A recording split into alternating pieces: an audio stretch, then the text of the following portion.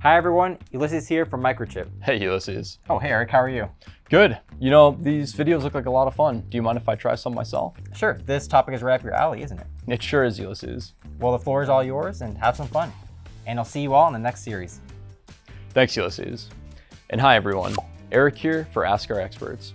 This series is all about memory, and we're excited to introduce our first expert on the topic, Mr. Clay Tomlinson. Clay is a technical staff engineer for Microchip's Memory Products Division, and he certainly knows his topic quite well. Let's put his knowledge to the test. Clay, EEPROM and Flash are some of the most common types of non-volatile memory designed into embedded systems. Could you explain some trade-offs between the two and key considerations when choosing one for an end design?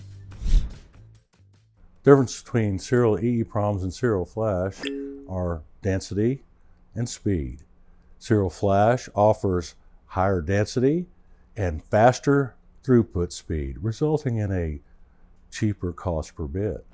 Now, serial EEPROMs do offer a built-in erase with their write command. Serial flash doesn't do that. You must buffer your data on your serial flash and then update that data and rewrite it to an erased page or sector or block. Serial EEPROMs will have a higher write endurance, so you can write more times to it than you can flash. Serial EEPROMs are most often used in vital product data storage applications and calibration and configuration data applications. The serial flash is usually used for code storage and long-term uh, updates. So if you don't have to update very often, please use a serial flash. You want to write more often, please use a serial double EEPROM. Thank you, Clay, for covering the key trade-offs encountered between these two major types of non-volatile memory.